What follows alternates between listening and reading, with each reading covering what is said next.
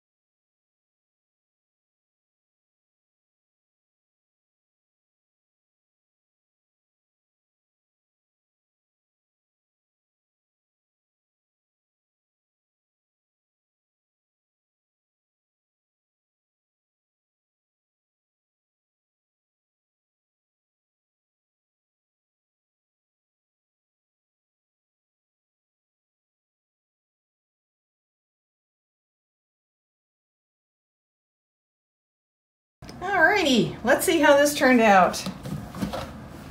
Oh, pretty, pretty. Look at that. We will take this out in the sunshine and take a look at it there in a second. Let's just assess where we are here. Okay, just to remind you, we were asked to make a 20 ounce version of this 30 ounce mica swirl using the Daler Rowney pearlescent acrylic inks. You just watched me do that and here is the result. Obviously because we're working with resin and uh, colorants, things just simply do not look exactly the same, but they were exactly the same colors, the same resin, uh, the same basic technique. You can go back and watch this one. You'll see I did it virtually the same way. I just did this one. I think I think this is stunning. I'm so excited. I hope the customer likes it. Let's see what we got on our our bottom here. That looks pretty nice. I tried to get more color on the bottom this time. I just I'm I love it. I love this technique more than I can put into words. It's just beautiful. Just stunning. Makes me happy. All right, let's take it outside and see this in the sunshine. And here we are, out in the sun. Look at how beautiful that turned out. I love it, I love it, I love it. So gorgeous. Couldn't be happier. Love this technique. If you've tried your acrylic inks, your pearlescent acrylic inks in any other form or fashion, or technique, mention that below. I would love to try some different things with this acrylic ink stuff. This is cool. Thanks for watching everyone. Stay safe. I'll see you in the next video.